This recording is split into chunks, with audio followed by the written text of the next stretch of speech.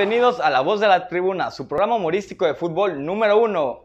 Bueno, número dos. El número uno es Fútbol Picante con Héctor Nalgaz, Asesinas Huerta. Yo soy Mario Villanueva. ¡Comenzamos!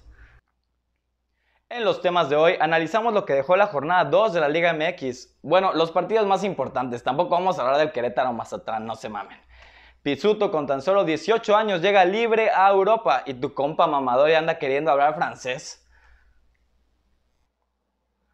Oh, bonjour, Pisuto, adore tu sonrisa, uh, bon appetit.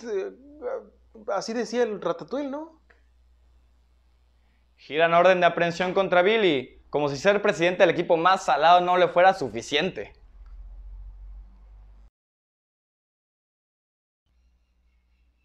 El Puebla la Cruz Azulió contra Cruz Azul, pues estaba ganando y de último minuto la máquina sacó el empate. La franja echó el camión atrás prácticamente todo el encuentro y casi se sale con la suya ante un equipo celeste que se cansó de llegar y no concretar. Tigres y Pachuca igualaban en un partido donde lo más relevante fue el olor a meado de los peluches en las tribunas.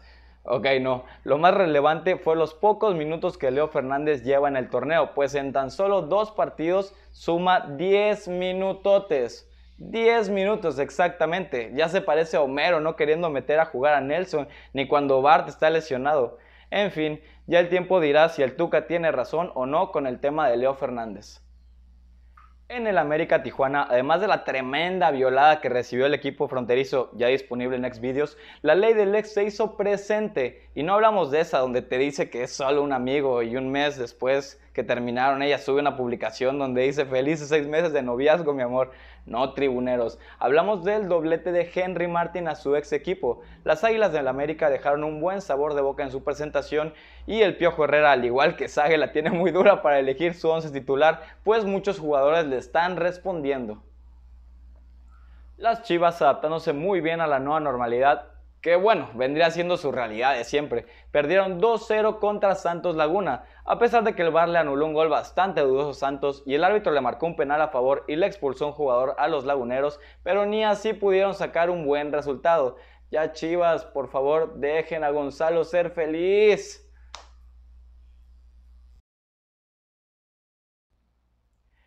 Eugenio Pisuto firmó con el Lille de Francia, lo cual es digno de aplaudirse por dos motivos. La primera es que apenas tiene 18 años. ¿Te acuerdas qué hacías tú cuando tenías 18 años? No me respondas, no me respondas, no me respondas. Y es que se valora y aplaude la mentalidad de este tipo de jugadores mexicanos que se arriesgan a irse a Europa tan, tan temprana edad. La segunda es porque se fue libre, lo que en otros tiempos con el pacto de caballeros vigente no se habría podido, por el miedo a las represalias que podría tener en un futuro a su regreso a México. Sin duda es un jugador al que le deseamos el mejor de los éxitos, que tenga una carrera larga y duradera en Europa.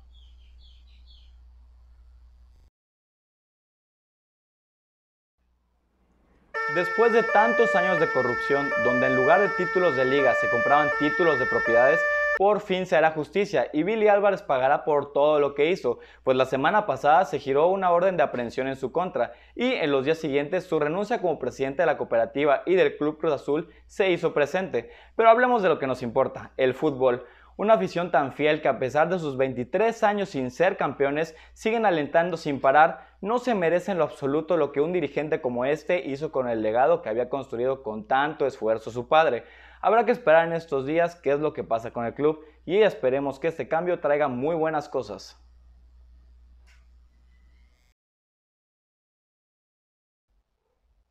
Si te gustó el video no olvides suscribirte, activar las notificaciones, usar cubrebocas, no saludar de mano a Héctor Huerta y seguirme en mis redes sociales para más consejos. Yo soy Mario Villanueva y esto fue La Voz de la Tribuna.